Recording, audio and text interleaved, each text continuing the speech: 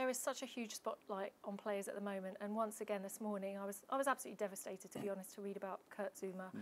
and we've heard, we've seen so much negative PR. I just wonder if there's enough that's being done outside of the football to show these players that they are massive role models and how how they've really got to watch themselves. You, I mean, you went through it, but it wasn't mm. quite as bad in your day because there weren't mobile phones. Mm. Do you think that there needs to be something to, to help these players to behave in the right manner? Um, possibly uh, with the clubs, I, f- I feel could probably do a little bit more with the players as well. But obviously, there's a responsibility with us or with them as players as well, kind of away from the from the pitch. So they're probably in the, around the training ground for four or five hours of the day. That means they're at home for 19, 20 hours yeah. of the day. You know, so it's a lot of responsibility on on those people and stuff. But like we say, like I see a video of, of Jack Grealish at the game the other day. Yeah I've seen that a million times with Jack. Jack is the nicest kid you could, honestly, that you could meet. He would do anything for the supporters, for people. And when you see that, it's like people have made such a big thing of it. I'm like, Jack does that. Jack literally would sit there at six, seven o'clock at night, Aston Villa. Me and Dean would go in the dressing room, and Jack would have these, all his uh, fan mail set out, replying to everyone, doing videos for people on Instagram, and it's it's that side of it that but again, with him, people kind of build him up and then yeah. want to knock him off that pedestal as well. So I think it's it's a bit of both. It's the players, but it's also the media as well that can that can help with that. I mean, you look quite emotional about it, and I can understand because you had the same. And I have to admit, I had to defend you so many times over the years because of certain things mm, going on. Yeah. And I always used to say. Yes, this, but have you seen the way he deals with some of the children who come to the training ground mm. who are dying of cancer? I never forget one of the things you said to a boy, I was in bits, I couldn't say a word to him. Mm. And you said something that I know would have been the last thing that he remembered before he died. Mm. Sorry, I feel. We're both going to go, yeah. But it, it's hard, and I think people forget what players have to deal with on that side of things mm. and how they can be role models. But I, I do think there's so much negative PR. Yeah, there is. And I think with it, I, I think us as players look at it and go, like obviously I, I probably received a hell of a lot of negative press I would like the people that work with me, like you being one of them, to go, well, I've seen John X. That means more to me than anything else because the people from the outside who don't know John Terry or don't know me personally or don't know these people individually are very, very quick to make judgment on people. And I don't think that's fair either. We've all made mistakes, we're all young. These kids, they're so young, they're in the limelight. It's difficult at times.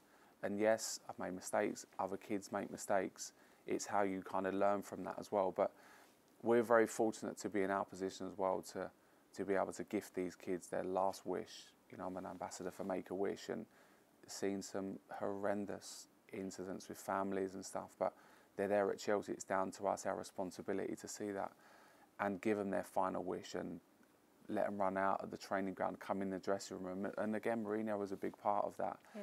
And it's, it's that side of it that stays with you. So for all the negative press, I, I, look at one incident of, of where I've made a family or a kid happy, that takes it all away for me.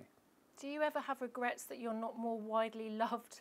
Um, obviously, the Chelsea fans adore you, mm. but for other things that perhaps that aren't anything to do with football.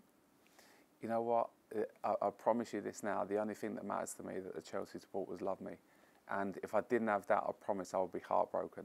Like I'll give, I'll give everything to Chelsea Football Club for 22 years, and if I can't, if that shifted that way, uh, it would break me. Honestly, it really would. So, um, I'm very happy that I've got my banner. I've got the respect and, and the love of the Chelsea fans because again, they're the people that see me week in, week out, not just on the pitch but off the pitch as well, and, and many things I've done for the Chelsea supporters. So, um, I'll continue to do that, and I hope that I, I continue to get love and support from from Chelsea. And of course, they want you back. I mean, you're there uh, doing a consultancy role um, with the academy, which is great. Mm. Is that is that the long term plan to come back and be manager of Chelsea Football Club? Yeah, that's that's my dream. Obviously, when you're a kid, you go, you want to play in the first team. As as a coach, and I've shifted this way now. The long term ambition and goal is to be Chelsea manager. Of course, that feels a little bit funny saying that because someone's in a job there, and you you know. Listen, we're still talking 10, 15 years down the line, maybe, you know, but I have to have an end goal, and that's it. It's my dream hopefully it happens. I'm on the process of doing that, but a lot of things in between that have to go very well for me. So I'm being very patient in, in this, the decisions I'm making of my next step in, in terms of management. but being back at Chelsea is um, is very pleasing for me and quite emotional when I first drove in. I bet. Um, I know you're working really hard at it as well. I see you reading loads of books, looking at psychology, growth mindsets. Um, talk to me about some of the extra efforts you've put in to be a great manager. Well, again, I think it's you just try and be a better version of yourself. And I've I've played under so many great managers, and even the managers I didn't enjoy playing under, I still take the bad bits from them that I would never want to be like as well. Can, so I, can I ask who? Who did you enjoy playing I think the? Chelsea fans would know. Can I ask? Um, I mean, there was a bit of a period where people said, um, I don't know, maybe under Di Matteo or Avram Grant or a few of the managers, where they actually said John Terry's in charge. Frankly, um, he's the boss. Thing he makes a lot of decisions. There was a lot of player power because there was such a strong.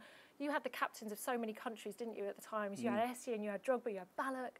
Um, how much truth was there to that? And also, has that helped you think that you can be a manager because of that kind of leadership that you were showing as a player? No, definitely completely untrue in terms of players kind of in charge making decisions.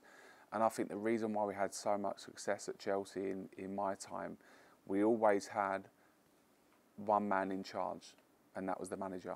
We had such a, you would have seen on a daily basis, we had such a strong group of players that helped that process.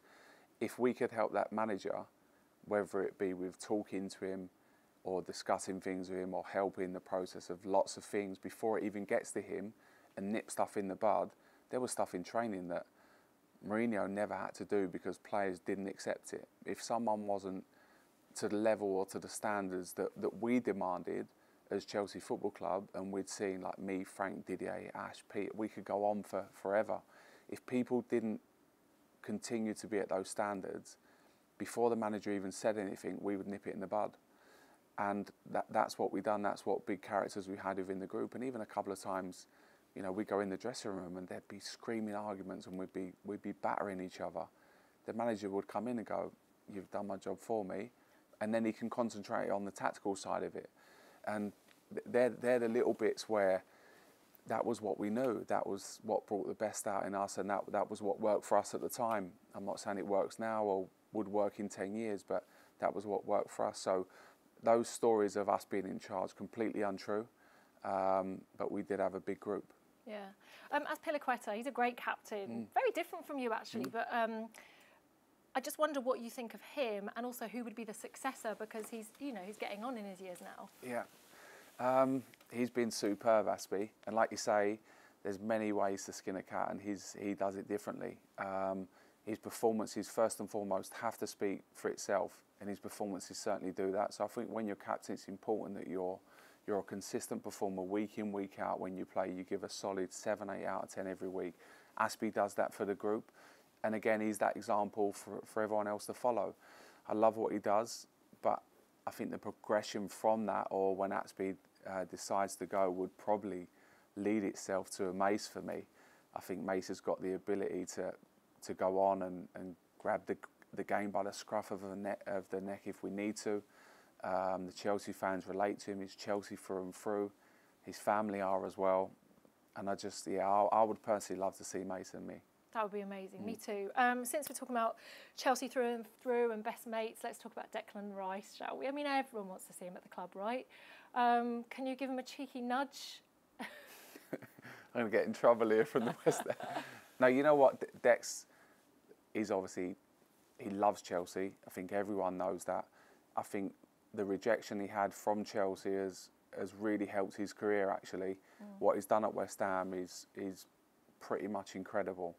Um, and we see the other day, even in the cup, when he comes on and scores and, and again grabs the game by the scruff of the neck. With the great dance moves as well. Uh, What did he's you got make of the some moves actually decent, actually, from Dec, wasn't it? I want to see more of that, by the way. I Why think don't there- more players I think it? there's been more coming because a lot of us can't dance. That's why. but I think from from Dec's side of things, I think he's he's given everything to, to West Ham, and and for me, and looking from the outside, unless West Ham go and make a big statement in the summer and go and spend a hundred plus million, saying we want to keep Dec and we want to bring in top players like you, whether that be a link or whoever that may be, then I think he's got a decision to make. I think if West Ham go and spend huge amounts of money and bring in top players, then again, I think it's difficult for him to kind of walk away.